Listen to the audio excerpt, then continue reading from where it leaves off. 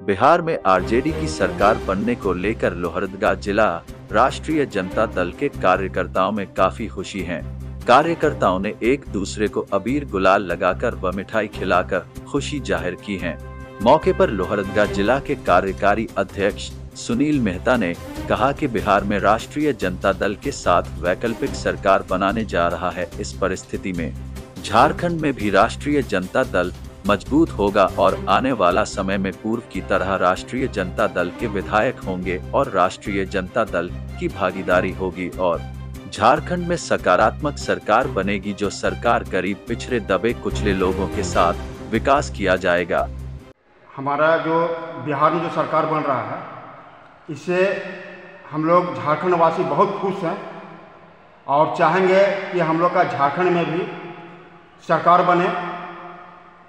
और आने वाला दिन में झारखंड में जो भी सरकार बनेगा, उसमें हमारा राजद का अहम भूमिका रहेगा। अपने राज्य से जुड़ी हर ताज़ा खबरों के लिए आप हमें सब्सक्राइब करें, साथ ही बेल आइकन बटन दबाना ना भूलें।